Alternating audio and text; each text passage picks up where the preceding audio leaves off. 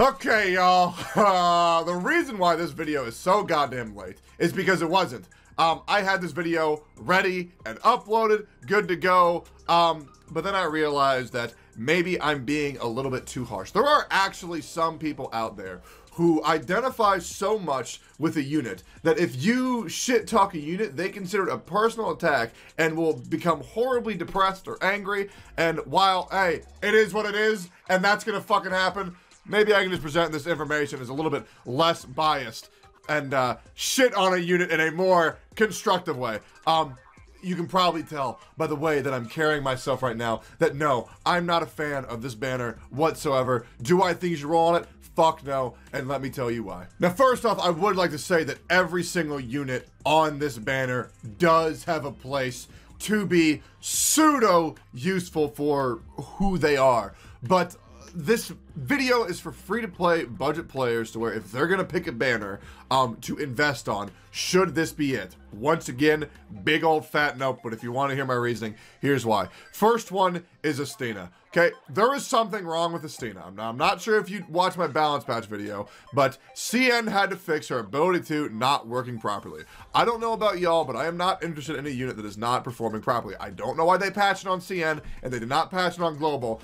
but if somebody tells me hey this unit is not working as intended, I do not want anything to do with them until they're fucking fixed. I tested her. She's supposed to hit three targets when you skill her up a couple times. Um, there were some times where I saw her only hit two. Maybe I was imagining things, but I tested it for about 40 to 50 minutes, and I did notice sometimes she would only attack twice. Maybe I'm fucking crazy. Maybe the animation uh, fused together, but I didn't see it. Regardless, Istina is a fine and dandy unit, but once again, you have to understand that this banner is going directly up against um, the Schwarz banner. And I don't know about y'all, but I much prefer Glaucus over Istina. Yes, they do much different things, but they relatively do the same thing in the same role, which is they are a support slower, okay? Same thing with Angelina. I like Glaucus, BC counters drones. I don't know where I would want to bring Istina all the time, but I do know Glaucus is a time and place every single time there is a drone on the field, so I would much prefer a role for Glaucus over an Estina.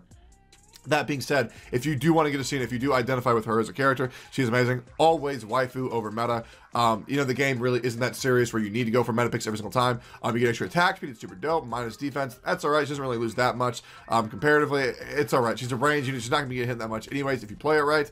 Um, yeah, the ability too, which is pretty much the main ability you're always going to be using. Um, increase your attack by 30%. Uh, change your single attack into a try hit. So this is effectively increasing your damage by 260%, which is absolutely fantastic. Her base stats are actually quite good for uh, comparatively to other units of her role. So Cena is a fine pick.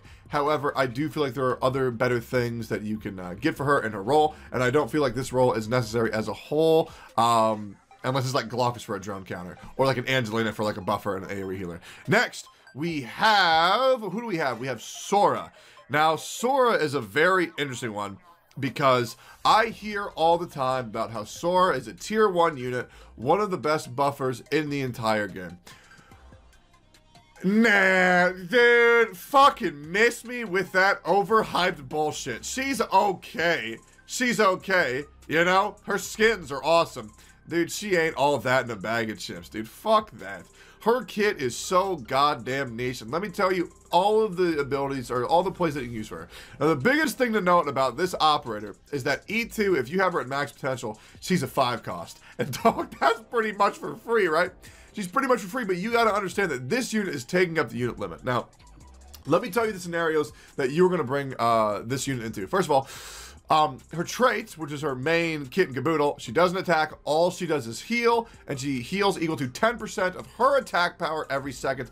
But keep in mind, at E2 max level 80, she is going to have 335 attack power, which, yes, you guessed it, that is, hey, that's fuck all. Okay, that is fuck all. So best case scenario, she can heal everybody in her range for 33.5 every second, which is better than Angelina's base heal of uh, 25 every second, but that's universal. The only units that are going to get healed by this ability are the ones in her range, and that is giga limiting. But we will circle back to that, okay? Because then I see people defending it uh, with her Song of Slumber. Let's say for some fucking reason you level 7 M3 this shit, okay? It's going to increase your attack range to actually make it not shit. It's going to be the same range as uh, Saria's ability 2. Um, and it's going to disable every unit in that area, which is uh, all enemies within attack range enter sleep status, stun, plus invulnerable. Additionally, trait effect increases to 100%. Okay, so that means that every unit uh, in that range is going to get healed for 335. Once again, this is, this is an M3, M3 E2 level 80. Okay, none of y'all are going to see this unless you're a content creator trying to make some meme shit. Okay, so she would heal every single unit around her um, for 335 times 7. That's somewhere in the ballpark of like 2100 to like 2400, somewhere in that range, okay? And that's a really big heal. That can top off the majority of operators. Then you also got to keep in mind um, that this is a 60 SP cost. And yes, her talent does have a chance to, when a skill ends, 50% chance to immediately recover 50% of maximum HP, okay? That's 50%. That is not going to be auto-reliable by any means if you are using this clear. Okay? This is a delay tactic, and that is something that you do not use, that is not required for anything in the entire game, because she's pretty much the only unit currently that can delay this hard. Also, keep in mind, if you are delaying them by this much, you are not going to build up any type of momentum whatsoever. To be honest, delaying the enemies generally means that the enemies are going to get stronger because then they're going to have more time to build up their forces and forces and forces and forces. Unless you have an AoE combo. Okay? So let's say you stall them out for Eyjafjalla's ability 3 in the form of Volcano, or you stall them out for Silver Ash's ability 3 in the form of uh, Snow Leopard Go Shrink Shrink. Cool. Um, it's just giga gimmicky. It's really, really, really gimmicky. And while I do understand it as a time and place, you just you have to build around it too much. And for a free-to-play budget player, that's not really going to be an option that you're going to have too much. Yes, you can do some cool memes, and this ability will have some effect sometimes, but generally, you're pretty much going to be focused on ability uh, ability two which is all allies, then uh, attack range gain, attack equal to 100% of Sora's attack. So you will give all the operators 335 extra attack power, and it is additive, not multiplicative, which can be good for operators where, uh, let's say they have, you know, fast attack speed, and you want to burn them down, uh, like an Exia or some shit. That could be, you know, pretty significant. But once again, it's just it's coming down to the reality of the, the attack range of this shit is so so so yikes to play around. And once again, unless you're making meme content, um, and also keep in mind this is a 45 cost ability. Um, you can just use another operator and get more benefit. It just I feel like playing around Sora is a challenge in and of itself, and while it is really cool when you can get off some sweet combo plays, you're just not really gonna be like, let's just say for example, you're not gonna go through the story with Sora and be like, oh, I can combo like this here. Oh, next level, I can combo like like this here. Oh, I can combo do a Sora combo like this here with the enabler there and the AOE combo there. Like, it's just giga, like, it's just a fucking hassle. It's not gonna work every time. It's just, I'm not a fan of it, dude. And once again, this all comes down to my meta. If you're in love with Sora and she's your favorite girl in the entire world, that is a-okay. I just feel like there are better operators out there who are way less complex to use. It's just a fucking headache, man. And there's just other operators that are more worth it and do a lot more than she does with way less restrictions and playing around this attack range. Anyway, if you want to get her, go for it. my opinion, I, I, I would rank Sora like a tier 2, 2, 3 tops. I don't get why people say she's a tier 1 unit. And trust me, I've checked everybody's opinion, you know? Like, what? Moving on. Let's talk about Ptilopsis. Well, she's fucking broken. Switching gears. Uh, time for me to overhype. Ptilopsis is the best healer in the entire game. Okay? Best healer. Tier 0. Triple S unit. Fucking amazing. Triple heal. AoE heal. Dope. Female. Hot as fuck. Pricey, not really. 15 cost max level for an AoE healer. Uh, increase SP of all allies on the entire map, and you don't have to play around her attack range because it's fucking anybody on the field gets that fucking SP regen. That's crazy. Ability 2, nuts. Turns her range even longer. Makes her heal even faster. Her stats, actually very good. Very good for a triple AoE healer. Quite good. All right. Ptilopsis is fucking broken. Next up, Angelina. one of the best units in the entire fucking game. Broken passives, broken ability three. Fucking nuts. Doesn't matter where you put her, everybody's gonna get benefit from an extra 8 attack speed and an extra 25 HP every second if you E2 her. If you don't E2 her, well, she's pretty damn fucking bad now, isn't she? So, if you are going to be pulling for an Angelina, only do so if you have the mats ready. Because if you don't have the mats ready to fucking E2 this girl, just don't. Do not. Do not pass go. Do not collect $200. Dog, she's trash before E2. But once you do E2 her, she does become one of the best units in the entire game, in my humble opinion. Next up, we have Shining.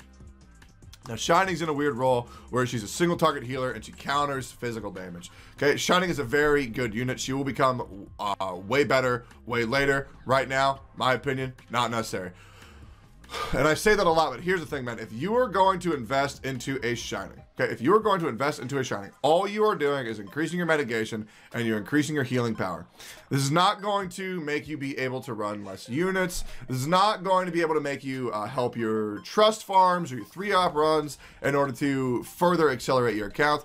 All she's to do is make sure that shit doesn't die. And honestly, she's only doing that shit in the form of healing and mitigation. You can just invest into a damage dealer and have them kill shit faster to where you don't need um, as much healing. And that's just the way that it is. When you're a healer and you don't increase the damage that you are doing, if you're if you're a healer and you and you don't increase the rate of which things are dying, all you are doing is delaying the inevitable and requiring your self-worth to have to increase in order to counterbalance that. Whereas if you just invest into an E2 level 90, uh, M3 fucking Exia, or a fucking Silver Ash, or an Eyjafjalla, everything's gonna fucking die, and the lack for the healer, or the need for the healer is gonna get lower and lower and lower and lower and lower. Uh, if you can invest into so many damage dealers to where the only healing that you need is Angelina's E2 passive, which is fucking crazy. Because then she's also a healer, an attack speed buffer, and a damager in and of herself. All Shining does is heal. So for where we're at right now, we don't need that much healing. We can invest in other units in order to completely bypass the need for those operators whatsoever. That's why I like Ptilopsis, because she also increases everybody's SP regen, so when the healing is not necessary, she's still making things do more damage. She's making things heal more. She's making things tank more. Ptilopsis is just fucking awesome. Shining is a very, very, very good unit. But do I believe you should pull for her as a free-to-play budget player? No, I do not. Now, the operators in the shop right now are, I believe, Sora, Sora and whom? Sora and whom? They are Sora and Shining. I would not pull for Shining. Uh, there will always be more Shining banners. I would not pull for Sora because I feel like she's too much of a hassle to play around. And if you are going to, you know, when you don't have the luxury of building around a Sora as a free-to-play budget player, I wouldn't waste the resources just to play around one unit. Anywho, that's my opinion. I know there's a lot of hot takes in here. I know that. And hey, hopefully you can see that I'm trying to come here with a bit of tact and reasoning. Like understand, like this is my mentality. If you think my mentality is flawed, I'm always open um, to criticism. You can challenge my points. Go for it. I am totally open to that. I know a lot of people, or sorry, some people say Tectone thinks he's right because he's very loud. Like being loud does not mean that he's right. I don't think that at all. I think being right means that I'm right. Trust me, I'm not trying to deceive anybody. These are my thoughts. I try to give you all my rationale. So if you disagree with my reasoning, hey, awesome. Let me know. Give me your point of view. Let's get the conversation going. Anywho, fuck this banner. I hope you enjoyed the fucking video. I've been Tectone. Y'all have been great. Hope you're having a damn good one. Peace!